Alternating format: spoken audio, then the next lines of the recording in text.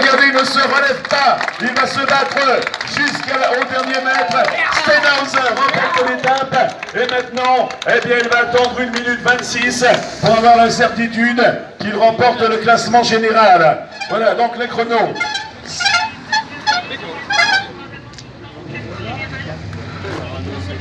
Voilà donc euh, le chronomètre est déclenché et j'attends la confirmation du groupe de contre derrière euh, Stenhauser. Deux coureurs hein, sont sortis du, peloton pour aller chercher peut-être une euh, deuxième place au classement général s'il s'agit des, des, coureurs comme euh, bah, Willems déjà qui, qui pourrait être deuxième du général mais il est dans le peloton à 2,50 donc dans le contre il y a peut-être Paulus, Coqueret, Onlech aussi dans la brosse ou Thompson qui pourrait aller chercher la deuxième place du classement général allez on est sur le Dernier kilomètre maintenant, on arrive à une minute et encore un kilomètre pour le peloton maillot jaune.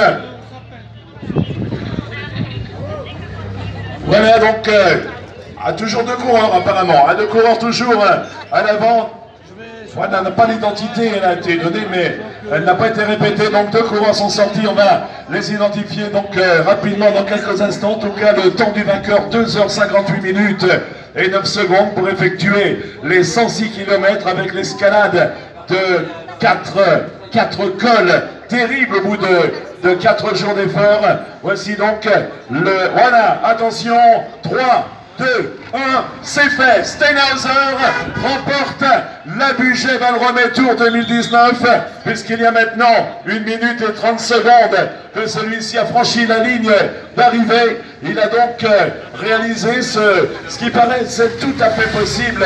On le disait ce matin, donc un coureur à moins de, de 2 minutes, ou même 2 minutes 30 est capable, s'il fait un numéro, eh bien d'aller chercher la victoire finale. Andy Flickinger, je crois qu'Andy Flickinger avait repris 3 minutes 40 sur la dernière étape. Il a fait une belle carrière chez les professionnels par la suite. Voici donc les coureurs sortis du peloton que vous accueillez par des applaudissements. Mesdames, Messieurs, le peloton sur les traces.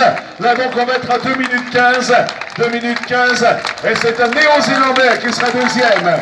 Et donc le Cortiens est troisième. C'est Thompson. Thompson qui prend les bonifications.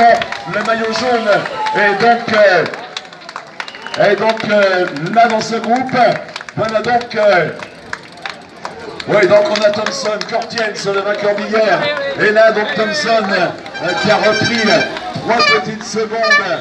Ah, donc, alors qu'on a le, le, maillot vert également, qui termine à l'instant. On a également le coureur de la formation d'Occitanie, c'est le seul coureur de l'équipe.